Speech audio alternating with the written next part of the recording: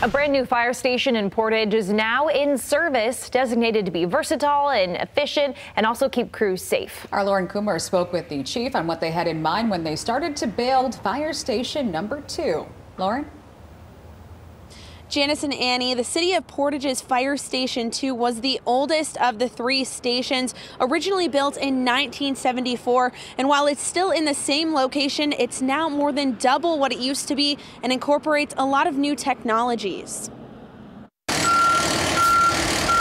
The City of Portage's brand new Fire Station 2 just went into service in the beginning of October. We spent a lot of time. We spent about two years on the design of the station to make sure that we utilize this building to its fullest capabilities. It was a project total of $6.1 million through the city's Capital Project Improvement Fund.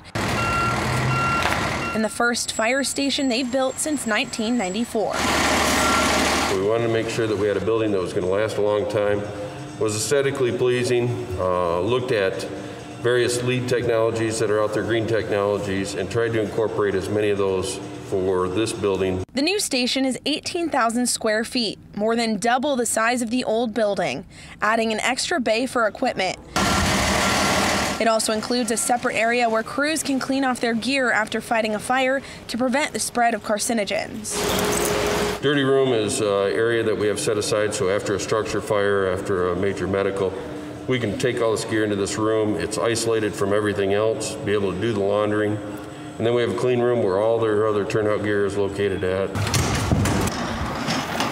The new station also brings in versatile training equipment that firefighters can train on year round, something they weren't able to do before. We actually are able to do some ladder training as well as high angle uh, training inside that hose tower, which we couldn't do before. One of the other things, where uh, we have a tech, technical rescue team here, and we have a confined space, underground confined space. So we have three manhole structures that are all interconnected with different size diameter pipe. Also in the new design, the fire chief says they were able to rotate the station a full 90 degrees to have better access to the bays and also use the sun to help heat their water. We're not just planning for today, but we're planning for tomorrow. And um, I can tell you the growth of the city hasn't stopped. It continues going every day. In the living quarters, the fire chief says they were able to make both the bunk rooms and locker rooms gender neutral to accommodate their firefighters as best as they could. Reporting live in Portage, Lauren Coomer, Fox 17 News. All right, it's a cool new uh, fire station there, Lauren. Thank you.